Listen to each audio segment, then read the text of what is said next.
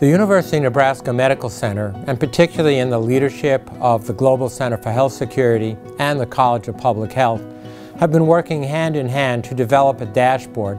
to provide guidance uh, to elected officials, uh, business leaders, uh, members of the healthcare community, and others by using six commonly reported points of data. The number of new cases of COVID 19, the percent positive tests, the number of deaths in a community, as well as the number of hospital beds, intensive care unit beds, and ventilators that are used for COVID patients,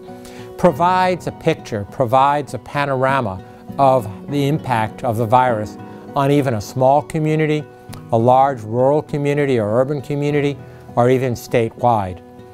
We've been working very hard to provide an easy way to understand that, and most importantly, to track the day-to-day -day changes that occur so that it's useful across the state.